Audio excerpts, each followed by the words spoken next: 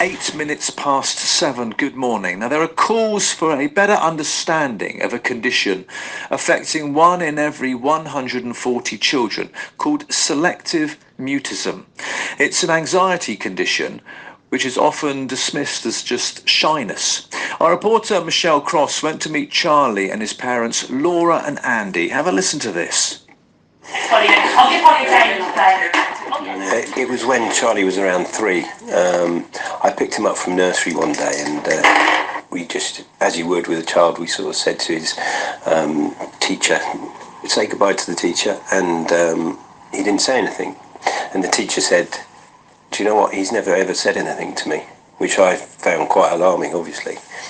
Charlie's dad, Andy, says that was the moment everything changed for the seven year old and his family. Here's Charlie's mum, Laura. My initial thought was that he was just shy and that it was he would just grow out of it. You don't necessarily want to believe it at first, but the more we found out, it was literally describing Charlie, um, and so it was, we couldn't we couldn't ignore it. It affects one in 140 children. That's around one in every primary school, which came as a shock to his parents. Growing up, Charlie was very happy. First word was bird. Remember that? What? A yellow pink and green. He met all his milestones when he should have done. Notably, a really sort of cheeky sense of humour and, and, and something that you know, he's, he still has today, obviously. The pressure of um, saying good morning to his teacher, he really struggles with that.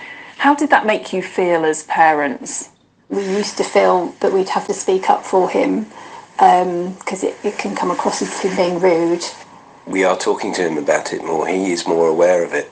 And, you know, we asked him, how does it feel to have selective mutism? And he says he feels lonely. He feels left out. Sorry. Sorry. The condition has been an emotional journey for all of them. It's hard not to think about, um, you know, what the future holds for him because, again, it's such a given that, that everybody's expected to speak. It's taking the small wins and, and, and running with those um, and building on them that he can show everybody who he really is. oh, you're too good. Let's talk now to Lucy Nathanson, a therapist and a specialist in selective mutism. Lucy, welcome to the show. Hi, Alan. Now, Lucy, I'm going to ask you some questions, and no matter how I wrap this up, they may seem a bit lowbrow for you, but um, I really want to understand this, but I can't quite get my head into the mind of, of the child. So, could you explain a bit more from your expertise as to what is happening for the child that allows them to feel lonely but also not speak? Absolutely. So, selective mutism is an anxiety disorder. And what this means is that these children can talk absolutely perfectly when they're comfortable. So, in the home environment with immediate family, they can talk freely. They're often the loudest child in the house. But in other situations, for example, at school, or sometimes even with extended family members or with strangers, they freeze. So, it's been compared to a phobia of talking. So just like any phobia, when we're we're faced with our phobia, we respond to that in a very physical way. So our, we go into the fight, flight, freeze response ultimately. So our heart rate may increase, we may start sweating, our muscles tense up, and these children with selective mutism have this very involuntary response to the expectation to talk. And crucially, their throat muscles tense up and they are unable to talk in those situations. And it's not long before they become, in inverted commas, the person who doesn't talk. It becomes part of their identity and it feels impossible for them to start talking. What is the treatment plan for children with this condition? So, the first step is for everyone around the child to understand that this is anxiety based.